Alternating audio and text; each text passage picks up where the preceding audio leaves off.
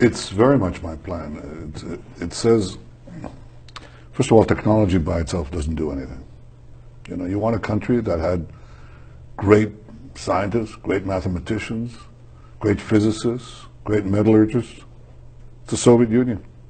Didn't do anything. Mm-hmm. But if you took one of these guys, you know, smuggled him out, put him in Palo Alto, you know, within two weeks he was producing a lot of added value.